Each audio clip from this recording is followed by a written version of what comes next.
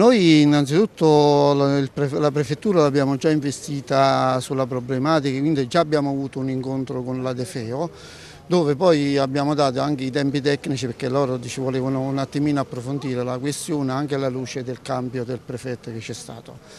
È chiaro che noi chiederemo eh, in prima battuta eh, un intervento per il pagamento delle spettanze arretrate, tenuto conto del fatto che, eh, come voi già sapete, la stampa, l'opinione pubblica, i cittadini e tutto quanto sanno già che c'è stato fatto un intervento di chiusura di circa 20 centri di accoglienza e di cui in questi circa 20 centri lavorano 120 lavoratori che dall'oggi al domani sono rimasti senza lavoro in primo luogo, ma sono rimasti anzi senza aver ricevuto quelle che sono le spettanze arretrate. Quindi in, in prima battuta noi chiediamo eh, le modalità per erogare il dovuto eh, delle spettanze arretrate, quindi TFR e quant'altro e poi ovviamente in prosieguo chiederemo anche eh, qual è la prospettiva occupazionale per questi 120 lavoratori, questi 120 famiglie. Quindi oggi eh, diciamo, eh, il motivo essenziale è questo, poi vediamo un po' oh, se c'è bisogno di spingere su qualcosa perché oltre ai lavoratori c'è anche questione dei migranti proprio che quelli oramai erano già strutturati nella provincia di Benevento quindi sono stati un po' dislocati sul territorio campano, eh. molti di questi che stanno anche con USB perché fanno eh, una, dire, una scolarizzazione quindi tutto un processo anche di integrazione importante quindi c'è una duplice situazione che secondo noi va affrontata e va anche definita in tutti i suoi aspetti quindi, poi, poi, noi non entriamo nel merito delle questioni giudiziarie perché non ci interessa, noi ci interessa il lavoro, ci interessano i lavoratori, ci interessa tutto l'aspetto, altre cose non attengono a noi, attiene a chi deve fare indagini per verificare che, che cosa è successo e come si è determinata questa situazione. Ci hanno chiesto di pazientare perché il nuovo prefetto vuole ben capire la situazione. Noi ovviamente per senso di responsabilità 10 giorni, anche 15 giorni gliel'abbiamo dato, però ad oggi come dire, non sappiamo che cosa, che cosa eh, può determinare, tenuto conto del fatto che poi per quanto la questione specifica è proprio la prefettura che poi eh, dire, eroga quelli che sono i proventi alla fine del mantenimento dei centri e quant'altro. Quindi diciamo che noi in maniera sostitutiva si può anche eh, assumere la responsabilità della prefettura per, almeno per incominciare a pagare quelle che sono le spettanze arretrate. Noi avevamo già dato indicazione che se non, era, eh, se non ci convocavano facevamo un presidio per eh, mercoledì prossimo, ci hanno convocato e noi per meglio rappresentare verificare quelli che sono i risultati. Abbiamo comunque convocato un presidio, come vedete un presidio pacifico, anche per mettere a punto e mettere a fuoco quelle che sono eh, diciamo, le risposte che ci vengono date dalla Prefettura. Anche un vigile urbano è stato pizzicato a gettare rifiuti fuori orario e in aree non consentite a Nocera Inferiore. La rete non perdona, i nocerini pure. È battaglia aperta contro chi inquina alimentando le discariche abusive nelle zone periferiche. I cittadini sono stufi, in particolare i residenti nelle zone rurali, che le periferie vengano trasformate in immondezzaio. Puntano il dito con tanto di immagini rilanciate sui social senza risparmiare colpi, neppure agli agenti di polizia locale che dovrebbero fermare e sanzionare gli inquinatori, non esserlo. Un caso, quello del vigile urbano, che ha coinvolto l'intero corpo dei metropolitani. Loro dovrebbero darci il buon esempio, scrive l'autore della denuncia social pubblicata nel gruppo 6 di Nocera Inferiore Se. Il comandante dei caschi bianchi, Giuseppe Contaldi, ha annunciato fermezza e pugno di ferro contro la gente sorpreso a lasciare i rifiuti in via Urbano VI. L'uomo, si vede dalle immagini, è stato redarguito da un automobilista di passaggio, ma si nota che reagisce con veemenza a chi gli fa presente che non si può sversare l'immondizia ma prima o poi qui lo vengono a prendere, ha risposto un'altra signora pizzicata nello stesso posto da un altro cittadino che ha postato sempre su Facebook le foto del reato con tanto di commento indignato. Ora tutti chiedono misure rigide ed esemplari, soprattutto nei confronti del distratto esponente delle forze dell'ordine. Le microdiscariche sono un problema per Nocera Inferiore, nella zona rurale ce ne sono decine In via Santa Maria Palo nei giorni scorsi ne è stata rimossa una enorme. Purtroppo gli operatori hanno lasciato lungo il ciglio della strada dei mobili e dei sacchetti aperti, il pretesto per alcuni incivili che ne hanno subito approfittato, sversando nelle ultime ore un carico di laterizi provenienti da qualche cantiere edile. Insomma, si è punto e a capo, una vergogna senza fine. Già oltre 1600 persone nel 2018 hanno perso la vita nel Mediterraneo nel tentativo di raggiungere le coste europee, nonostante il numero di coloro che cercano di attraversarlo sia diminuito in maniera significativa rispetto agli anni precedenti. I dati dell'UNHCR arrivano dopo lo sbarco delle persone rimaste a bordo della nave della Guardia Costiera Italiana Diciotti, con l'elogio da parte dell'Agenzia delle Nazioni Unite per i rifugiati ai paesi e alle organizzazioni che hanno dimostrato solidarietà offrendo di accogliere coloro che erano rimasti a bordo. L'UNHCR continua a incoraggiare la messa in atto di accordi prestabiliti e prevedibili per la gestione delle persone soccorse in mare nella regione mediterranea e sollecita gli Stati ad accelerare gli sforzi per mettere in atto accordi del genere. Quanto è successo deve essere un campanello d'allarme, ha dichiarato l'alto commissario delle Nazioni Unite per i rifugiati Filippo Grandi. La vita dei rifugiati e richiedenti asilo è messa in pericolo, mentre gli Stati sono impegnati in discussioni politiche per trovare soluzioni a lungo termine. La situazione della Disciotti, ha aggiunto, è ora risolta, ma abbiamo bisogno di un approccio europeo collaborativo e prevedibile nei confronti delle persone soccorse in mare. Anche l'attore Lino Banfi sceglie la costiera cilentana per le sue vacanze estive. Dopo dovere e piacere è venuto perché ho visto la tranquillità eh, di qua, il fatto che la spiaggia è privata appartiene all'albergo. Il Salernitano, con le sue meraviglie, è sempre più meta prediletta dei VIP, dalla costiera malfitana tutti, al Cilento. Però andare in una spiaggia normale dove poi non riesci a stare neanche un attimo a riposo no, qui invece è tutto bello, è tutto con discrezione e con garbo. Mi piace il pesce, io sono ittico dipendente pur non sapendo nuotare, mi piace tutto ciò che viene dal mare. Quando il pesce è fresco, certo, nei posti dove è sicuro è sicuro. Adesso poi, avendo l'orecchietteria, ho imparato anche il termine abbattere, deve essere abbattuto. Per me prima abbattere voleva dire fucilare qualche persona, ucciderla in realtà ecco, è come se tu momentaneamente uccidi quel pesce o quel frutto di mare, lo metti a tacere per un po' il catalessico, sei sicuro che i microbi non ci sono, però insomma, anche se non c'è pesce mangio tutto, sono dati da fare tutti a trovarmi pesce, quello che si può mangiare crudo si mangia ma non è obbligatorio, il pesce è buono anche cotto, devi dimagrire un po' e quindi camminare per te e salutare. Ed è così dico io, salutare, io continuo ciao Lino, ciao Lino, ciao Lino e quando, ne, quando cammino io così. Tanto vale che sto seduto alla poltrona e prendo il sole qua. Milioni e milioni, quelli che so so perché delle volte sono meglio 100 persone buone che un milione di, stro, di, stro, di nostri eh, amici insomma Sindaco, siamo alla fine di, eh, di, Medievalia, anche quest'anno è stato un evento che ha radunato una massiccia presenza, ha visto una massiccia presenza, insomma ormai è un successo collaudato. Sì, collaudatissima, quest'anno l'idea di mettere insieme la Medievalia, l'incendio del castello, insieme anche all'unità pastorale legandolo alla festa patronale eh, è stato un qualcosa di eccezionale, un intuito particolare che subito tutti quanti noi abbiamo capito che era il momento di metterla insieme. E queste serate sono state bellissime perché tutte le contrade che stanno a rappresentare poi l'unità della nostra comunità di Feicchio, le otto contrade che si sono poi un poco affrontate nelle gare, nel palio ehm, e un po' su quelle che sono stati tutti i giochi del Medioevo legandola proprio a quello che è anche il clima proprio che si è creato. Insomma una competizione sana per il bene di Feicchio.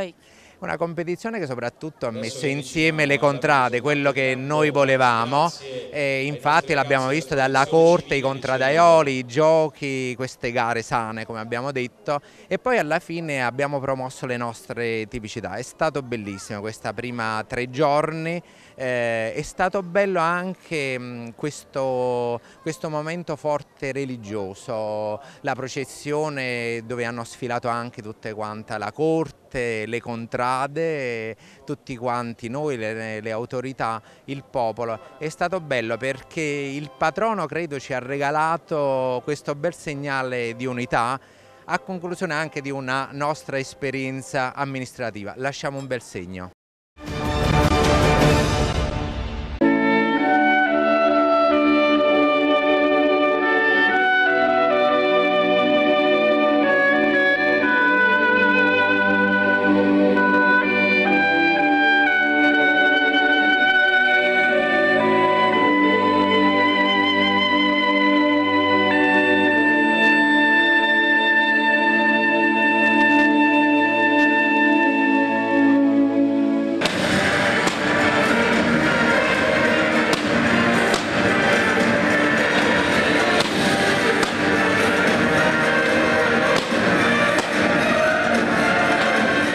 Siamo alla quinta edizione dell'incendio del castello. Innanzitutto ricordiamo ai telespettatori come è nata questa idea.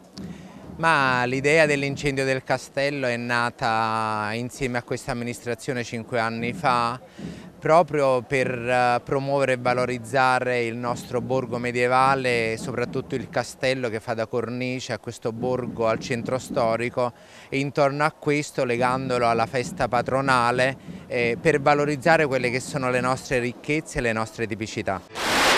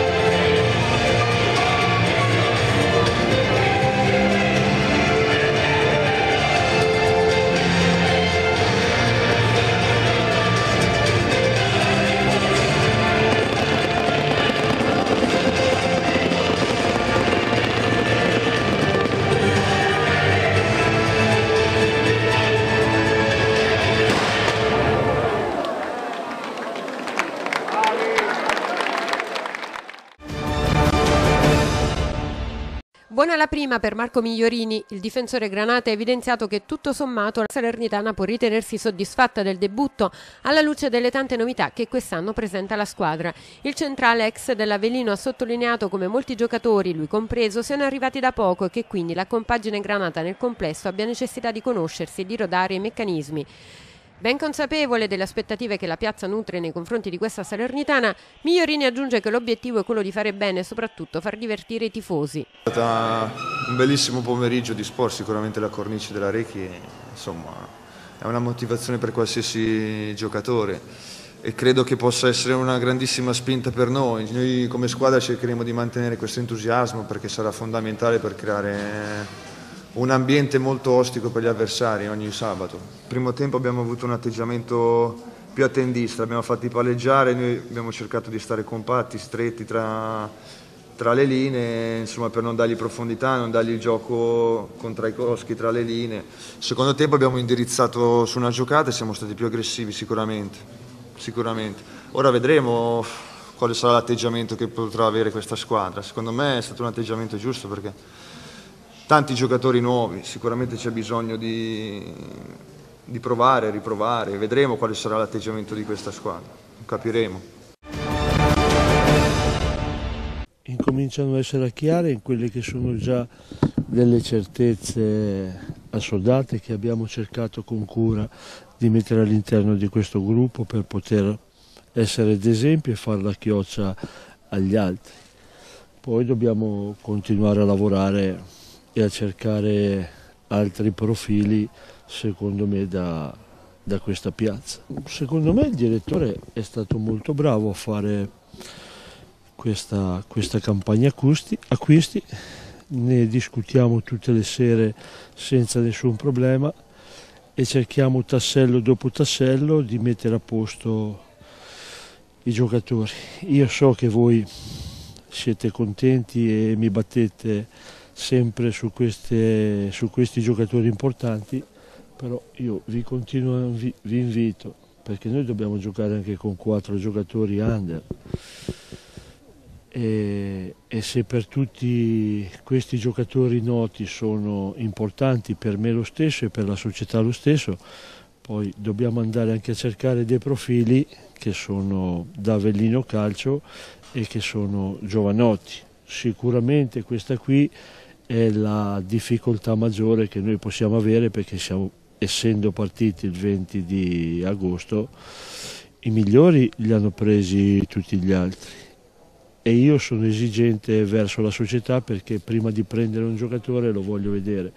E purtroppo siamo in un mondo dove esistono troppi procuratori e tutti quanti pensano di avere nelle proprie scuderie dei fenomeni e tante volte ti propongono dei giocatori che non ti mandano nemmeno in prova. E stiamo parlando di 98-99 questa è una cosa vergognosa, penso, ma io vi ripeto, se devo fare delle brutte figure, allora preferisco allevare in casa qualcosa che noi abbiamo di livello normale. Se invece qualcuno si decide a mandare giocatori perché è un orgoglio essere e far parte dell'Avellino Calcio, allora io li alleno, però passano sotto la mia visione. Prima a scatola chiusa non prendo niente. No, impressione, diciamo, eh, non tanto, ieri hanno fatto solo corse anche stamattina, no? Impressione me la sono fatta guardando no, come, come composta la squadra. Eh, come ho detto prima, penso che la squadra e la società avevo investito abbastanza, no? tanto in, in, questa squadra, eh, con giocatori quasi tutti esperti, tra un paio, eh, e con una carriera importante, no? quindi penso che, che, che, che saremo una squadra eh, forte. Eh, ora sta a noi, noi in questo periodo dell'anno trovare i giusti equilibri e riuscire a, a, giocare bene tutti insieme, però a me piace tanto questa squadra come composta e speriamo di fare bene. No? Personalmente mi aspetto, anche l'anno scorso mi aspettavo di fare una grande stagione e di, di, di vincere il più possibile. Come, sicuramente, come hai detto te, l'anno scorso arrivavo dell'estate no? di aver eh, giocato tutto l'anno senza quasi mai fermarmi. E, ora ho fatto un mese e mezzo di, di vacanza, quindi eh, niente, sono, sono, molto carico, no? ho tanta voglia di iniziare. Eh, come ho detto prima, spero di, di, che facciamo tutti insieme una, un, una grande annata. No? Sì, sì, sì. Eh, sicuramente se, se, vuoi squadra, vuoi far parte di una squadra forte ci sono giocatori forti, quindi eh, devi guadagnarti i minuti tutti i giorni eh, senso, sarà uno stimolo in più no? eh, dover competere ogni giorno, cercare di migliorare ogni giorno per, per trovare minuti. Eh, secondo me le stagioni lunghe, ci sono tante partite, quindi eh, se facciamo le cose bene tutti ci sarà spazio per tutti no? per giocare.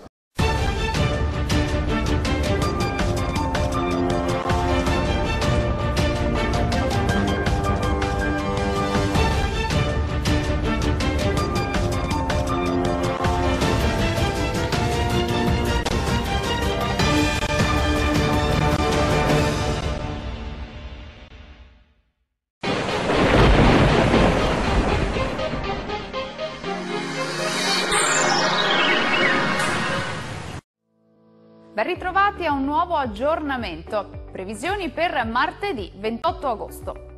L'anticiclone africano torna a dominare il nostro paese. Sarà dunque una splendida giornata all'insegna del bel tempo. Ecco il dettaglio elaborato da ilmeteo.it. Al nord sarà asciutto e stabile ovunque, tanto sole su tutti i settori. Il cielo si presenterà sereno o al massimo con qualche velatura sparsa. Poche novità sulle nostre regioni centrali, anche qui sarà una splendida giornata caratterizzata da un ampio soleggiamento. Il cielo sarà sereno sulla Sardegna, al massimo velato sui settori peninsulari. Anche a sud infine sarà bel tempo con tanto sole ovunque e con presenza al massimo di poche nubi a carattere sparso. Non sono attese precipitazioni degne di nota. I venti saranno moderati in prevalenza di maestrale. Concludiamo infine con le temperature che risulteranno essere piuttosto fresche, le minime infatti saranno comprese tra 10 e 23 gradi un po' su tutto il nostro paese. Per quanto riguarda invece le massime, prevediamo fino a 30 gradi al nord, fino a 29 gradi al centro e fino a 31 gradi al sud.